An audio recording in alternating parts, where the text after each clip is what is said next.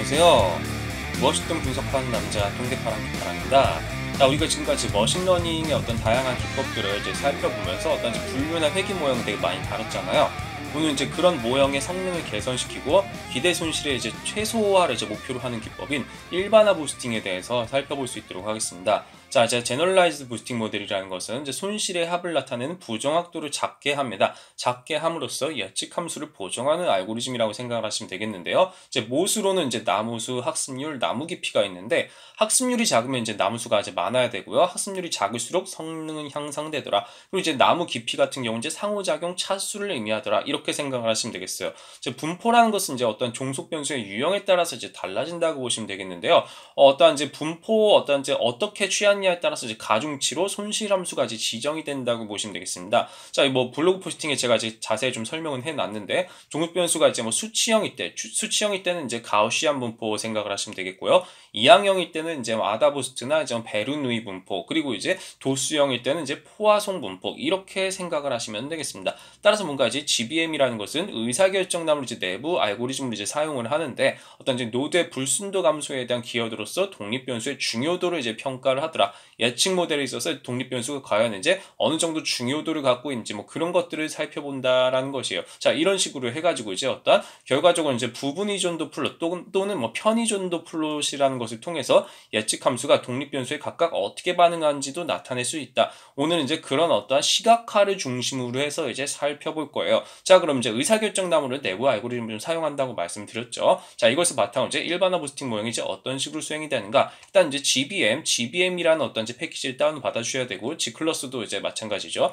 이런 식으로 해가지고 전제 어떤 GBM이라는 어떤 함수를 사용을 했습니다. 자 이런 식으로 해가지고 어떠한 이제 기본적인 어떤 모형, 어떤 모형 회귀 모형을 이제 구축을 해요. 구축을 해서 이제 최종 나무수를 이제 어, 계산을 하더라. 뭐 그렇게 생각을 하시면 될 것 같아요. 자 그런 식으로 먼저 이제 생각을 하시면 되겠고요. 이제 뭐 여기 이제 보면 이제 뭐 여러 가지 뭐 쭉 많이 나와 있어요. 나와 있는데 어떤 이제 최종 나무수는 뭐 한 100 정도 나왔네요. 100 정도 이런 식으로 그냥 생각을 하시면 되겠고요. 자, 그 다음에 이제 어떤 이제 K겹 교차 검증. 제가 이제 말씀드린 적이 있죠. 어떤 이제 어, 파티션 생성하는 거, K-fold 교차 검증, 뭐 그런 것들도 이제 같이 수행을 하는 것도 이제 살펴볼 거예요. 그런 식으로 뭔가 이제 트리의 어떤 시각화를 나타낼 것이고요. 자, 그 다음에 이제 해야 될 것은 뭔가 독립 변수의 중요도. 이것으로 이제 시각화해서 살펴보는 게 중요하다는 것이에요.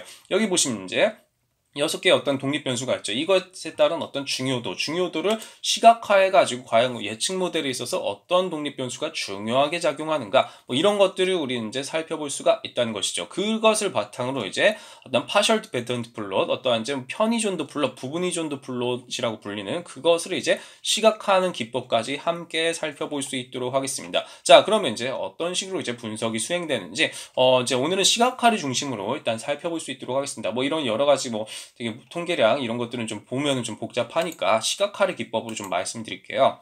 자 보시면요 이렇게 어떤 iteration iteration이 어떤 이렇게 어, 반복됨에 따라서 반복됨에 따라서 어떤 이제 squared error loss 어떤 이제 손실의 합 손실이라는 게 이렇게 쭉 떨어집니다. 떨어진다는 것은 결과적으로 아까 100이 나왔던 것처럼 100까지 iteration을 했을 때 반복을 했을 때 이렇게 손실의 합이 이제 최소화가 되더라. 뭐 이런 것들을 이제 살펴볼 수가 있다라는 것입니다. 자, 이런 식으로 해서 최종 나무수가 계산돼서 시각화되었다라고 보시면 되겠고요. 자, 어떤 이제 과소 이제 여기 OOB이라는 이제 method라는 게 있는데요. 이것은 어떤 과소 추정 문제가 있어요. 과소 추정 문제. 이런 것을 해결하고자 이제 K겹 교차 검증, 자, K-fold 교차 검증을 이제 수행 수행을 하겠다는 얘기입니다. 그것을 바탕으로 시각화한 것을 보아하니 이런 식으로 이제 뭐 그러니까 squared error loss가 이렇게 쭉 나타난다는 것이죠. 여전히 어찌됐든 100까지에서 이렇게 iteration이 진행이 됐을 때 계속해서 그렇게 어, 기대 손실의 합은 이제 줄어든다. 뭐 이렇게 보시면 된다는 것입니다. 자 이런 식으로 해가지고 이제 그 다음으로 살펴볼 것은 아까 말씀드린 편의존도 plot 또는 이제 부분의존도 plot이라고 이제 말 씀드렸죠. 자 독립 변수의 중요도입니다. 자 독립 변수의 중요도 예측 모델에 있어서 이제